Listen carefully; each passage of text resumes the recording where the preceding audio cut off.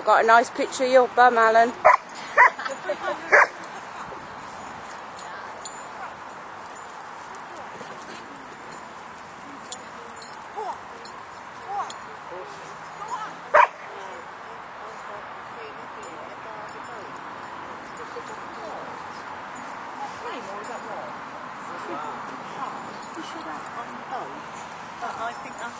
So, so the,